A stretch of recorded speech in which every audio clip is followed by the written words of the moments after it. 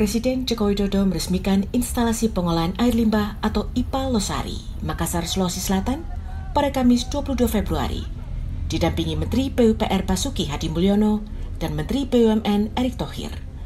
IPAL merupakan pusat pembuangan limbah biologis dan kimiawi dari air, sehingga memungkinkan air tersebut digunakan pada aktivitas lain. Kehadiran IPAL di wilayah perkotaan menjadi bukti upaya dalam menjaga pencemaran lingkungan. Dalam sambutannya, Presiden Jokowi mengatakan IPA Losari dibangun sejak tahun 2019 hingga 2023 dan menelan biaya 1,2 triliun rupiah. Dari APBN 1,067 triliun, dari ADB 672 miliar dan dari APBD 150 miliar.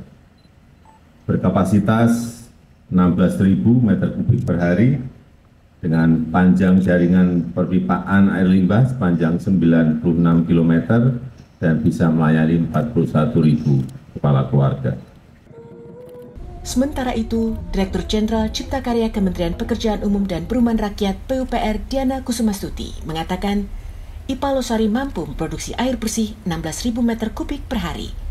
Ia menyebut air dari produksi IPA Losari tidak disarankan untuk diminum.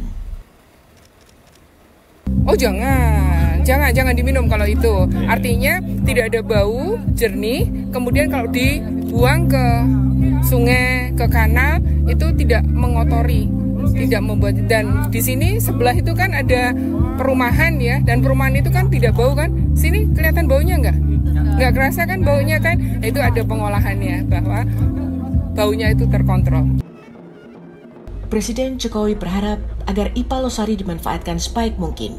Ia juga meminta Wali Kota Makassar untuk segera menetapkan tarif operasional IPAL yang baru diresmikan. Dari Makassar, Sulawesi Selatan, Cynthia Krishna, Kantor Berita Antara, mewartakan.